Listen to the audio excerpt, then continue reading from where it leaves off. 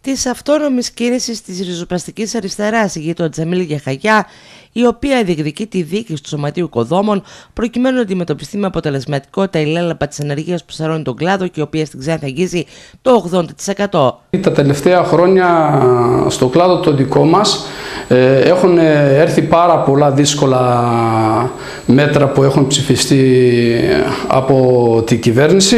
ε, γιατί ο κόσμος της εργασίας πλήττεται πάρα πολύ και εμείς θέλουμε να δείξουμε με τη σειρά μας ε, ότι δεν μπορεί να μας λυγίσει κανένα μνημόνιο ή κανένα εργασιακό μέτρο για τα χρόνια αυτά που ο κόσμος δούλεψε και τα πήραν μέσα σε μια μέρα ή σε μια νύχτα. Κατεβαίνουμε στις εκλογές ε, γιατί αυτή τη στιγμή τα τελευταία χρόνια δεν υπάρχει συμμετοχή ε, πάρα πολύ. Όπως ξέρετε ε, στη Ξάνθη είναι ένα από τα μεγαλύτερα σωματεία που υπάρχουν πανελλαδικά και η συμμετοχή είναι πάρα πολύ μικρή. Θέλουμε να δείξουμε στον κόσμο ότι η συμμετοχή μετράει πολύ περισσότερο και πρέπει να συμμετάσχει ο κόσμος, να κατέβει στις εκλογές να ψηφίσει για να δείξουν τη δυναμική και να μπορούμε να ξαναξεκινήσει πάλι ξανά ο αγώνας για να ξαναδιεκδικήσουμε διεκδικήσουμε πράγματα που μας ε, τα πήρανε. Το πλήγμα όμως που αντιμετωπίζει ο κλάδος δεν έχει να κάνει μόνο με την ανεργία αλλά και με την ανασφάλεια για το μέλλον, αφού δεν μπορούν πλέον ούτε ένσημα να κολλήσουν, ούτε η ιατροφαρμακευτική περίθλιψη να έχουν, γεγονός που οδηγεί τις οικογένειες στην απελπισία. Όπως ξέρετε, τα τελευταία χρόνια. Ε, οι συντάξεις, ε, δηλαδή που τους πήραν με οι συντάξεις των οικοδόμων αυξήθηκαν το όριο ηλικίας ε, από τα 58 μέχρι ε, τα 60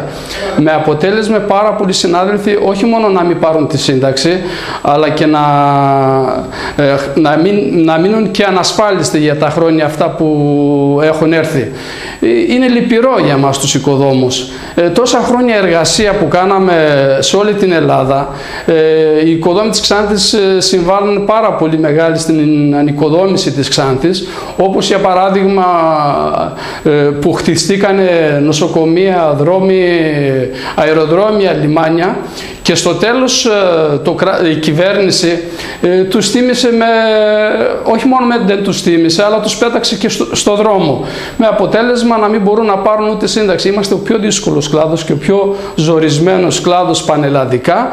και αυτή τη στιγμή η δικιά μας συμμετοχή πρέπει οπωσδήποτε να είναι μεγάλη και θέλουμε να δείξουμε στον κόσμο ότι να κατέβουν να ψηφίσουν και θα αγωνιστούμε και θα ξαναεπαναφέρουμε ε, δικαιώματα που μας πήραν και μας κλέψανε. Έτσι, από την Τετάρτη έως και το Σάββατο, οι οικοδόμοι θα μπορούν να προσέρχονται στην Κάλυπο από τις 11 το πρωί έως τις 5 το απόγευμα, ενώ το εκλογικό τους δικαίωμα θα μπορούν να ασκήσουν και την Κυριακή από τις 11 το πρωί έως τις 4 το απόγευμα, που θα κλείσουν οι κάλπες για να ξεκινήσει η καταμέτρηση των ψήφων. Να σημειώσουμε ότι η εκλογική διαδικασία κρατάει 5 ημέρες προκειμένου να μπορέσουν τα μέλη του Σωματείου που δουλεύουν εκτός Ξάνθης να ασκήσουν το εκλογικό τους δικαίωμα μέσα στο Σαββατοκύριακο.